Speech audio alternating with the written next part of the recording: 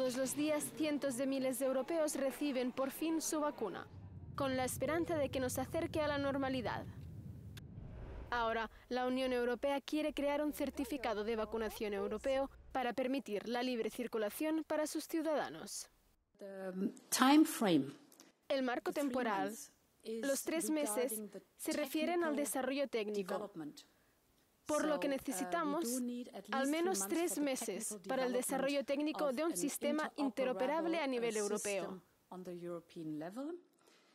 Hay mucho trabajo por hacer desde la Comisión a nivel europeo y mucho trabajo por hacer técnicamente desde los Estados miembros a nivel nacional.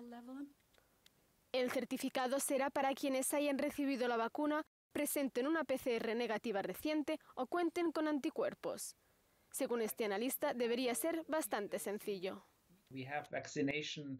Ya existen ahora los certificados de vacunación y estos certificados se utilizan como prueba cuando viajas a otros países, por ejemplo, para la fiebre amarilla. Entonces sí, puede que tenga que haber un periodo de adaptación a este tipo de pase, pero en realidad creo que no es muy complicado. Es algo muy simple y debería poderse poner en marcha. Los líderes de la Unión Europea, que se han reunido por videollamada, también quieren que la producción de vacunas aumente y se garantice un suministro constante. Nuestra principal prioridad ahora es acelerar la producción y entrega de vacunas y vacunar en toda la Unión Europea. Y es por eso que apoyamos los esfuerzos de la Comisión para trabajar con la industria, para identificar cuellos de botella, garantizar cadenas de suministro y aumentar la producción.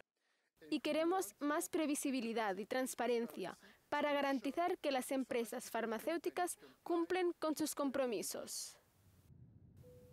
Pero para algunos países existe una preocupación más inmediata, mantener el virus bajo control a medida que aumenta el número de casos, entre ellos Bélgica y Alemania, que defienden sus restricciones de viaje ante las críticas de la Comisión Europea.